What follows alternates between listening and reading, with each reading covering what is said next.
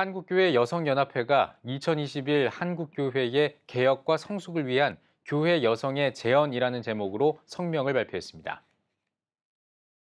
한교여원은 성명에서 한국교회 교인의 다수가 여성이지만 대부분의 의결기구는 남성 중심으로 이루어져 있다며 제도와 정책 의결기구의 여성 참여를 법제화하고 적극적으로 이행해야 한다고 말했습니다.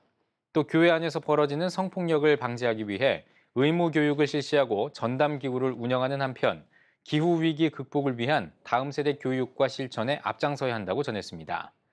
이어 하나님이 창조하신 인간의 존엄성을 위해 가난과 질병으로 보호받지 못하는 생명과 인권은 보호돼야 한다며 전쟁과 테러 등으로 소외받고 있는 사람들을 위한 인권 보호에 동참해야 할 것을 촉구했습니다.